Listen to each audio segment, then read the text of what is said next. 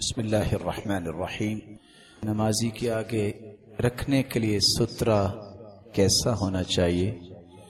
کیا اس کے لیے لکڑی کا ہونا ضروری ہے؟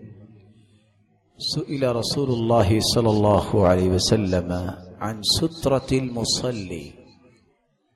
رسول اللہ صلی اللہ علیہ وسلم سے سوال کیا گیا کہ نمازی کا سترہ کیسا ہونا چاہیے؟ آپ نے فرمایا مثل موخرت الرحل، جس طرح کجاوے کی لکڑی اٹھی ہوئی ہوتی ہے، اس طرح کا سترہ ہونا چاہیے۔ آپ صلی اللہ علیہ وآلہ وسلم کی دوسری روایت ہے، صحابی کہتے ہیں كان بينه وبين الجدار ممر الشاه آپ صلی اللہ علیہ وسلم جہاں سجدہ کرتے آپ کے سجدے کرنے کی جگہ سے دیوار میں صرف اتنی جگہ ہوتی کہ ایک بکری گزر جاتی۔